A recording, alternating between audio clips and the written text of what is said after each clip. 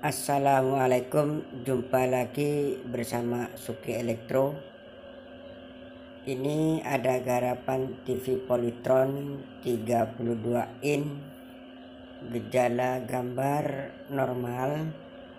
Cuman kalau di remote tidak connect. Kita coba aja ancepin kabel AC-nya. Oke sudah selesai dan nyala lampu led indikatornya. Coba kita pakai remote. Ternyata tidak connect.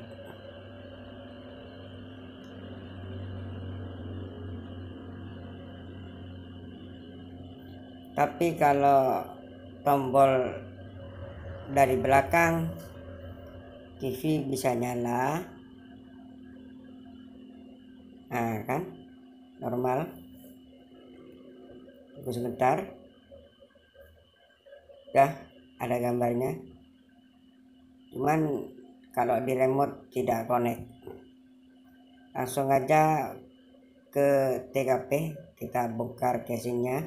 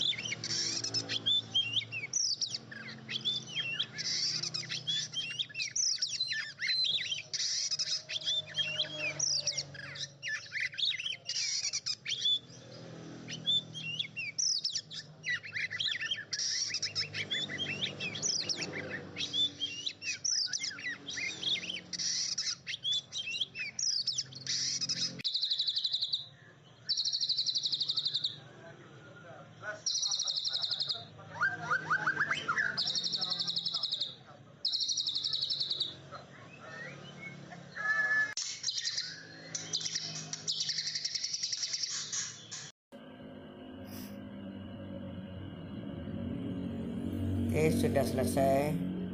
Buka segurupnya kita cabut dulu kabel AC-nya dan juga kabel output speaker dan juga sensor.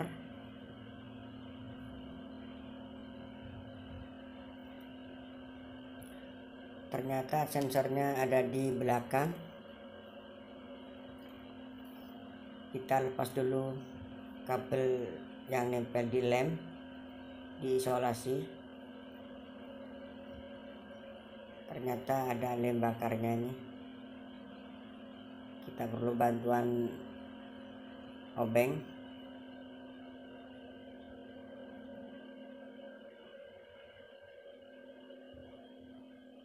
Kita buka dulu tutupnya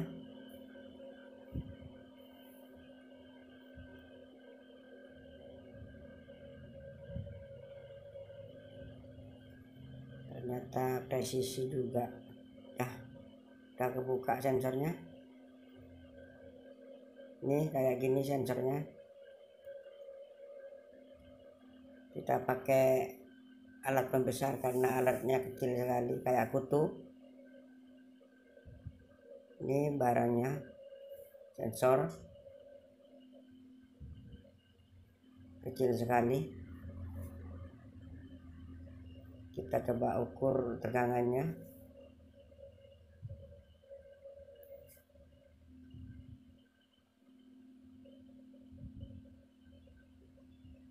Ini sensor.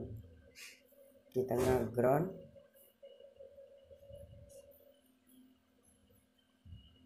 ternyata di kabelnya juga normal tapi di kaki sensor 0 volt.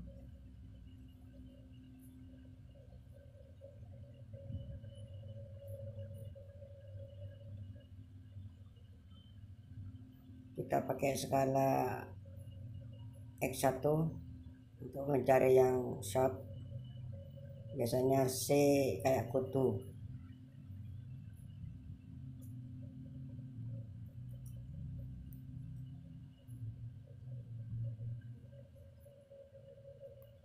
ini kayaknya sudah ada yang short ini C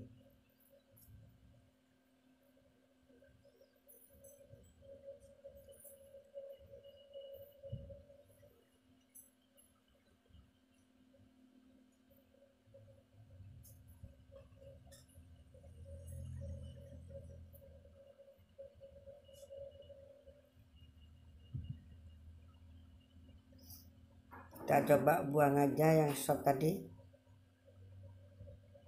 Mudah-mudahan berhasil.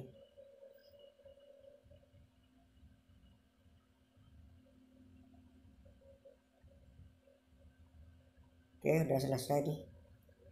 Dicabut kita coba tancapin kabel asingnya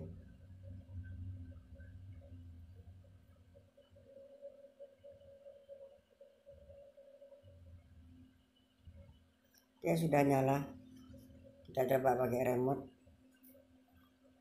Oh ternyata masih belum sukses. Berarti ada lagi ini kendalanya.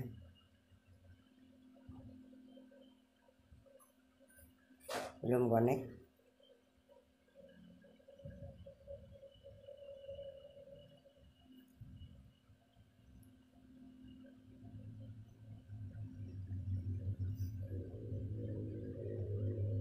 cabut dulu kabel AC-nya ini ada kutu ada kutu satu lagi yang belum dicabut. Kayaknya ini di bagian VCC 5 volt. Tadi itu C bagian inner ke ground. Sekarang C VCC ke kaki 5 volt sensor. Coba pasang lagi listriknya. Coba hidupin. Oh ternyata sudah bisa connect.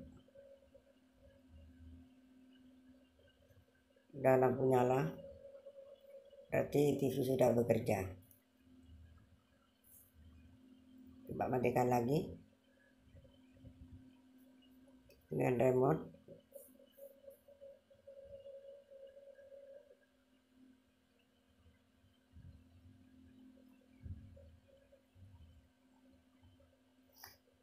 langsung aja pasang di tempatnya semula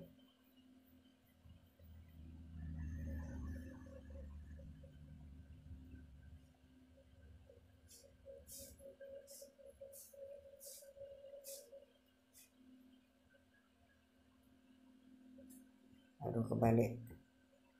Nah gini baru betul.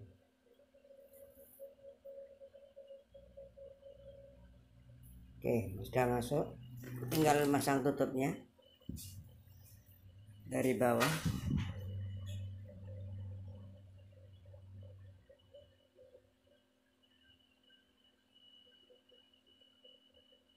Oke ya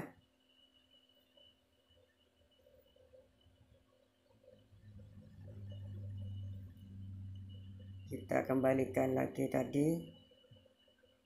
Kabel sensor yang terisolasi.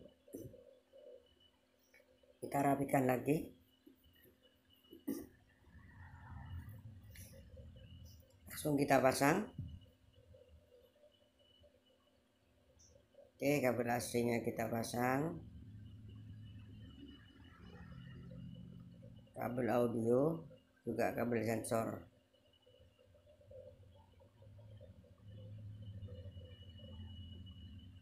Oke, udah selesai.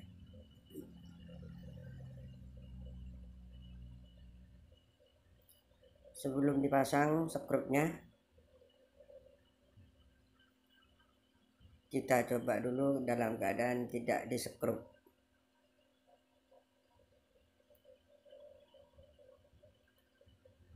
Kita balik dulu.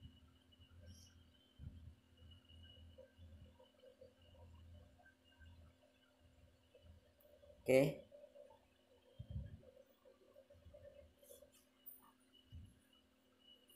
betulin kamera dulu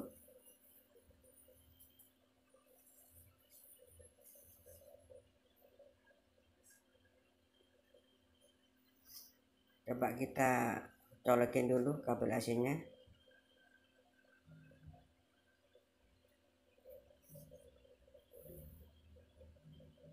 sekalian pasang jack anten.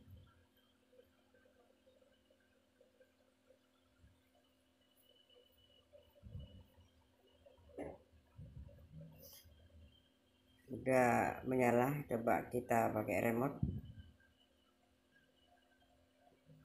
Ah ternyata sukses. Oke sudah keluar gambar sudah normal kembali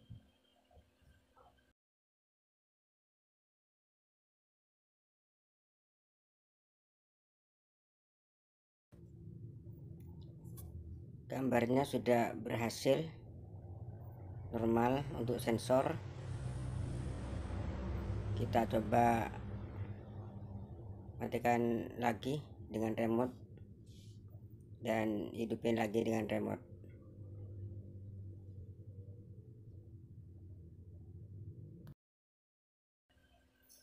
Oke terima kasih kawan-kawan. Mudah-mudahan video saya bermanfaat bagi rekan-rekan yang lain jangan lupa subscribe dan like.